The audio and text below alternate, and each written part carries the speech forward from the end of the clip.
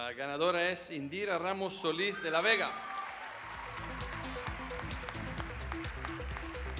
Su historia como emprendedora inicia con un acontecimiento que marcó su vida.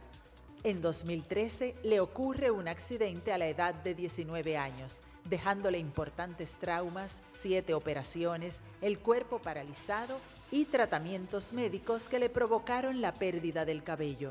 En busca de alternativas, creó tratamientos para el cabello de forma empírica logrando increíbles resultados y su empresa Hair Plus, que se empieza a expandir por todo el territorio dominicano y con clientes potenciales para exportación.